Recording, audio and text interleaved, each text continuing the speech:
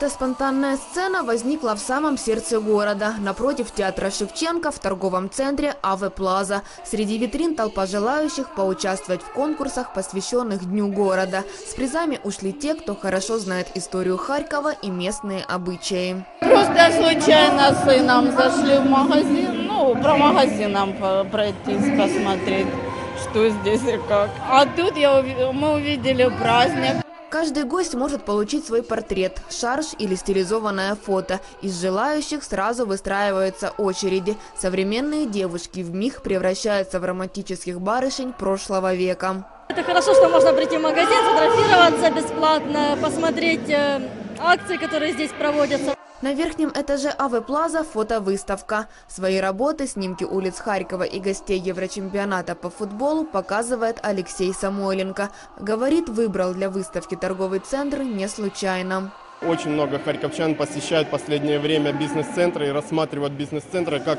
э, места э, отдыха, места проведения э, времени. И, соответственно, просто больше харьковчан смогут увидеть свой город.